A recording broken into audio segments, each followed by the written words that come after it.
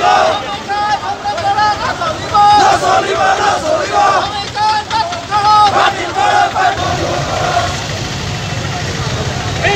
Kinder, Kinder, Kinder, Kinder,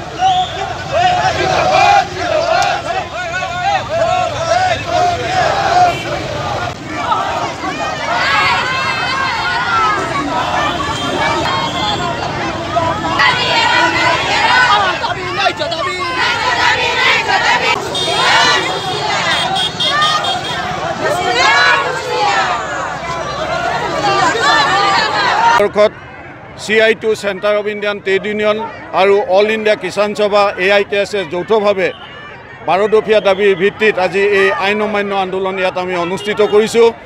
আমাৰ যি দাবী আছে এই দাবীবিলাক হৈছে শ্ৰমিক আৰু কৃষকৰ দাবী। যোৱা সময়ছোৱাত আমি দেখিলোঁ যে আগৰ কংগ্ৰেছ চৰকাৰ আৰু বৰ্তমান বিজেপি চৰকাৰ তেওঁলোকে শ্ৰমিক কৃষকৰ সমস্যা সমাধান নকৰি তেওঁলোকে মালিকৰ স্বাৰ্থত কাম কৰি আছে আৰু পুঁজিপতিসকলৰ স্বাৰ্থত কাম কৰি আছে। আজি কৃষকে তেওঁলোকৰ ঋণ ঘূৰাই দিব নোৱাৰি তেওঁলোকে ছুইচাইড কৰিবলগীয়া হৈছে। কৃষকৰ ফচলৰ আজি মূল্য পোৱা নাই। আজি শ্ৰমিকৰ ক্ষেত্ৰত আজি ওঠৰ হাজাৰ টকা মাননি মজুৰি নিৰ্ধাৰণ কৰাৰ কাৰণে বাৰে বাৰে দাবী কৰা হৈছে কিন্তু তেওঁলোকে সেই ওঠৰ হাজাৰ মজুৰি তেওঁলোকে নিৰ্ধাৰণ কৰা নাই। অন্যহাতে ফিক্স টাৰ্ম এমপ্লয়মেণ্ট তেওঁলোকে ঘোষণা কৰিছে।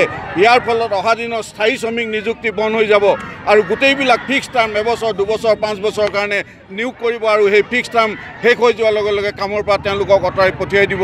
সেইধৰণে এই চৰকাৰে পাব্লিক ছেক্টৰ যিবিলাকে দেশৰ ইকনমি গঢ়ি তুলিলে দেশৰ ইকনমিৰ ভেটিস্বৰূপ সেই পাব্লিক ছেক্টৰবিলাক তেওঁলোকে প্ৰাইভেট কৰি আছে পুঁজিপতিৰ হাতত সস্তা দামত তেওঁলোকে গতাই আছে।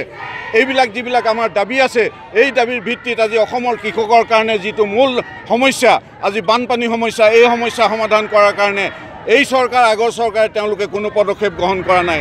আমাৰ দেশত কেইবা লক্ষ আজি আঁচনিভুক্ত শ্ৰমিক আছে তেওঁলোকক মাননি দিয়ে আমি কৈছোঁ মজুৰি দিয়ক। কিন্তু মজুৰি নিদিয়ে সামান্য মাননি তেওঁলোকক দিছে। যি মাননি দি তেওঁলোকে পৰিয়াল কেতিয়াও চলাব নোৱাৰে।